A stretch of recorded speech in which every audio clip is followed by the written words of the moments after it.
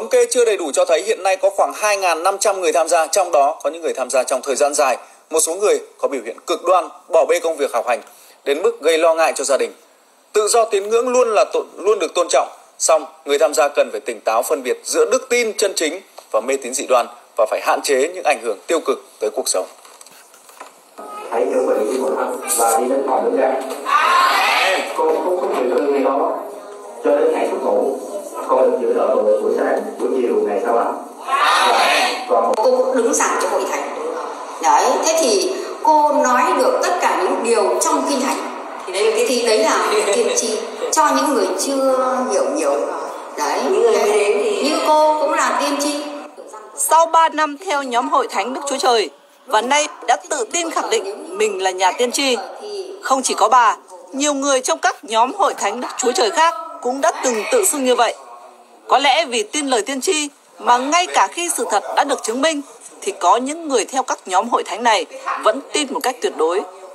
quá trình tôi thấy bà ấy tham gia cái đạo này thì tôi thấy nó có nhiều cái bất cập. Năm 2016 cũng đã nói đến ngày tận thế rồi, đến năm 2017 cũng đến ngoài tận thế rồi.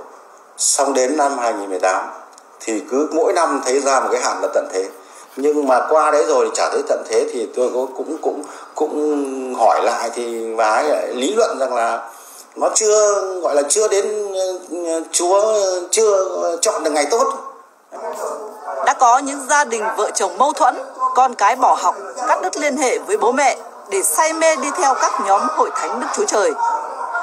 tôi rất là lo bởi vì không biết tương lai của con mình sẽ đi về đâu bởi vì chúng tôi tin là năm 2018 này là đến ngày tận thế năm chúng không còn nó chỉ mong đến ngày tận thế để nó được lên cái nước thiên đàng xem nó như thế nào.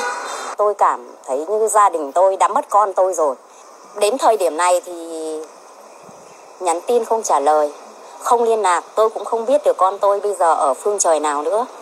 Và cái mà tớ lo lắng nhất đấy chính là cái đứa cháu lớn ấy, nó sợ mỗi một ngày mà chỉ cần đi theo mẹ mà đi cả ngày rời thế là ngày hôm sau cháu rất là mệt mỏi. Nó sợ lắm tức là cái, cái, cái hoảng sợ của nó mà mình nhìn cái ánh mắt trẻ thơ của nó thật sự là không còn nữa. Thật sự là không còn nữa.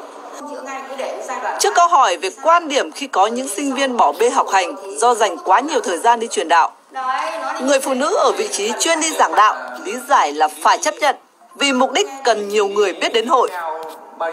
quyết định hy sinh để gì? Để sáng tỏ ra để cứu những người khác đấy Hy sinh đây có nghĩa là gì ạ? Tức là có khi chấp nhận cho các bạn kia phải nếu như thì bạn bây giờ thì chấp nhận rằng là à thôi thầy đuổi học thì chấp nhận đuổi học Cũng có những người đã rời khỏi nhóm hội thánh Đức Chúa Trời vì đã nhận ra những điều bất hợp lý. Trong đó có bà Nguyễn Thị Minh Loan là một giảng viên đại học về hưu. Theo lời thuyết giảng, hàng tháng bà dành 1 phần 10 thu nhập là để dâng lên Đức Chúa Trời. Song không rõ số tiền đó được nhóm hội sử dụng ra sao.